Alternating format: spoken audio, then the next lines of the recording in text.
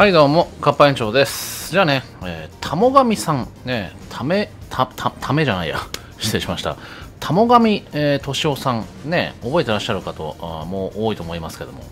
ね元あの自衛隊のね自衛官のね幕僚にいた方ですよね。うん。がなんかねロシアサイダー発言しちゃうんですよねこの人がね。うん。まあ一応まだえロシアサイダーだったの？っていうことにしときましょうか。えーと、まあ、こんな風におっしゃってまして、玉神さんがね、えー、ウクライナとの関係悪化で日本は何が困るのかと。つまり、ウクライナと関係悪化したところで日本は何も困んねえだろうと。で、一方、ね、えー、ロシアとの関係悪化はまずいだろうって言うんですよね。えー、エネルギー問題、えー、北方四島訪問。訪問？取り返す気はないんだ。えー、北の海域でのえー、安全操業などに悪影響を与える。まあ、つまり、ね、ウクライナ支援とかせずに、えー、仮にウクライナと関係が悪化したところで、日本は別に何のデメリットもないと。もともとね、え、友好関係があったところでメリットもなかったんだし、うん、関係悪化したところでデメリットなんか何もねえだろうと。一方、ロシアとはそうはいかねえんだぞと。ロシアと関係悪化したら、ね、デメリット、悪影響、こんなにたくさんあるんだけど何やってんだけしからん。っていうわけですよ。え？ー、で、えー、まあ、ツイッターでの話らしいんですが、えー、ウクライナとの関係悪化で日本は何が困るのかと。困るとか困らないとかじゃないんですけどね。で一方、隣国ロシアとの、えー、関係悪化はエネルギー問題、北方四島訪問、北の海域での、えー、安全操業などに悪影響を与えると。えー、ウクライナに完全に味方して戦後最悪と言われる日露関係になってしまったが、えー、ウクライナ戦争をめぐる我が国、えー、外交は、え国益を考えているのか、え考えてると思いますけどね。うん。いやこれどう思います？うん。いや、見方によってはね、え確か確かにロシアとくっついてて、ね、それはメリットもあったと思いますけど、デメリットの方がでかくないですか？だって。国際的に孤立しますよね。うん。いや、これはちょっと賛同できないですかね。うん。えだって世界から孤立えだってそもそもロシアがね、えー、ロシアを取るかウクライナを取るかっていうそのね二択、うん、にしていますけれどもいやそもそもがねロシアがねウクライナに侵略してるんですけどね。そこは考えないの？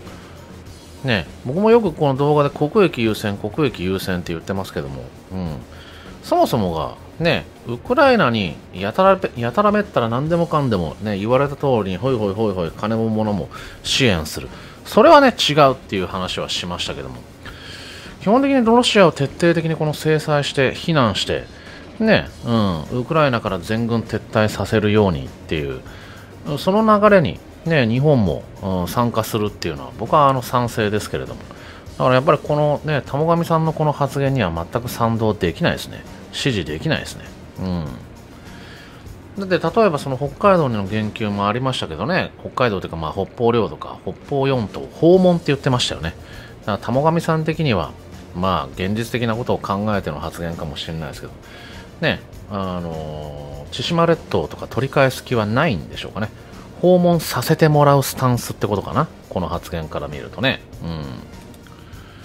だってね、そもそもがさ、ね、このウクライナがロシアにね、まあ、ないと思うというか、そんなこと絶対許したらダメだと思いますが、万が一ですよ、仮にですね、ウクライナがロシアに敗れると、えだって次日本だって言ってましたよね。ね、ロシアは西側及び日本を襲ってくることになると思うんですけど、それを防ぐためにもっていうことが言いたいのかな、玉神さん。でもそういう風には聞こえないですよね。うん。だから何が何でもね、えウクライナからロシア全軍撤退させないとダメですよね。うん。まあ、あとは、あえて、まあ、綺麗事じゃないですけどもね、まあ、でもこれもメリットあると思うんで、うん、まあ、国際社会の、まあ、評価、まあ、ロシアが、まあ、孤立しつつありますよね。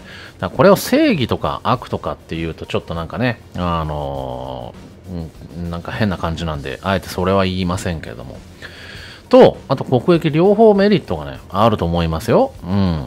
だって、だって日米同盟でしょ？日米同盟をどう考えてるのかっていうところもちょっとね、玉上さんに確認したいところですよね。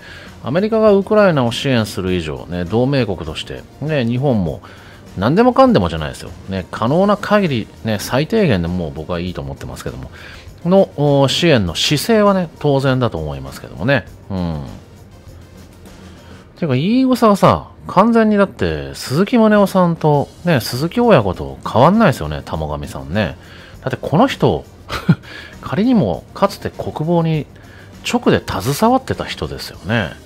だって西がブルーチーム陣営から完全にはぶられたら日本はどうなっちゃいますかね、ウクライナとロシアだけの問題じゃないですよね、そもそもがね。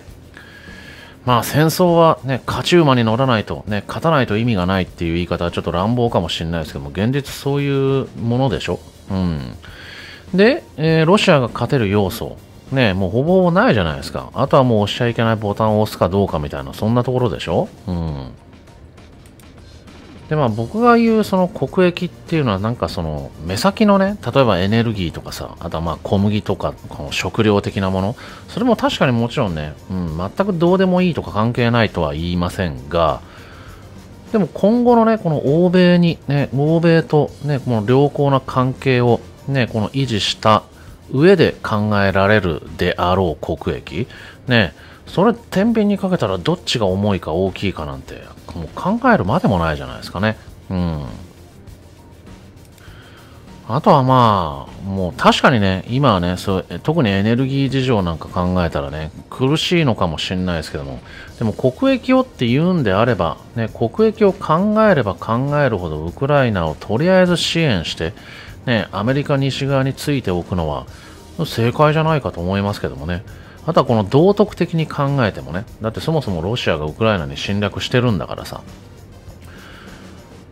え？ロシア側につくのはね、不正解、誤りだと思いますけども、ね、ロシア側についたらね、当然日本もね、アメリカ西側諸国から、ね、制裁の対象になりますよ。うん。